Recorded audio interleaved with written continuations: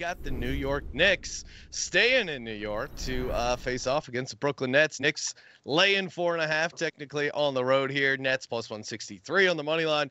Total sitting at 223. Yeah, I mean, maybe this is a trappy line. Uh, maybe some people would be worried about the Knicks looking ahead to the Nuggets. Not me. I'll, I'll take the Knicks minus four and a half. I mean, Brunson has scored at least 30 points in his last four games. Um, you know, trading RJ Barrett is seemingly great move here for the Knicks. Um, I, I like fading this Nets team. I could see how maybe someone would talk themselves into the Nets of like, hey, you know, they were on this road trip. They ran, they did randomly show up against the Lakers uh, on Friday night. But still, you look at the Nets. They're they're two and eight their last ten. I don't think they have much of a home court advantage here, especially against the Knicks. And Tom Thibodeau teams aren't really ones that you know, will look ahead. I think this Nets team, or sorry, this Knicks team can can beat up on a on a Nets team, which they're just much better than. So, four and a half, I'll, I'll take it. Uh, feels about right. I think I picked it last night, maybe four and a half th- or four, three and a half. It's moved a little, nothing crazy. So, I'll still ride with the Knicks here. Noops, any thoughts? Knicks, Nets it's just kind of a funky game. I'm going to wait and see what happens with Isaiah Hartenstein. If he's in, I do like this spot for the Knicks. We'll probably try to find a way to bet an under of some sort. But the Nets, again, similar to Indiana in the three point shooting, the variance is such a big deal. You know, in games they cover, um, the Nets shoot about 39 threes at about a clip of uh, just over 38%. When they don't cover, the threes are down to about 33. They only shoot 34%. And those sound like small margins. When you put it together, it, that's you're talking about a five, six point variance, sometimes as much much as high as seven or eight from from kind of that shooting spread.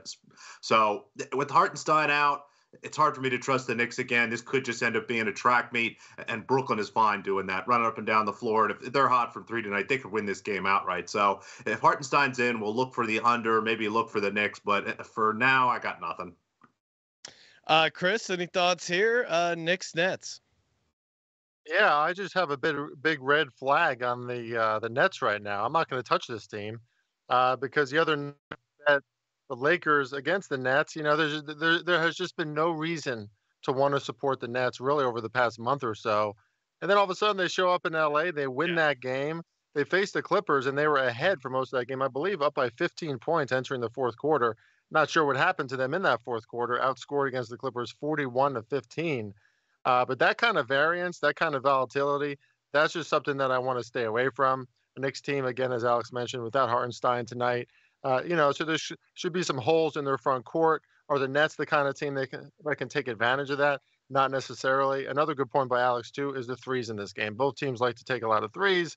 Uh, maybe this game just really depends on who's making more of those in this contest. But there's just a lot that I don't want to touch in this one. I'll just say, as always, if Sean is on the Knicks or if Sean likes the Knicks, maybe we just support the Knicks because you've been really good at that. But Nick, I can't touch this one. Nick Swismer, yes. Uh, Noops, not much has changed since you were last on the show. Still, still randomly talking myself into the Knicks, and uh, you know, yeah, my my Knicks. To have an edge.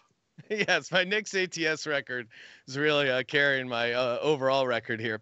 So lock it up for me, Knicks laying four and a half.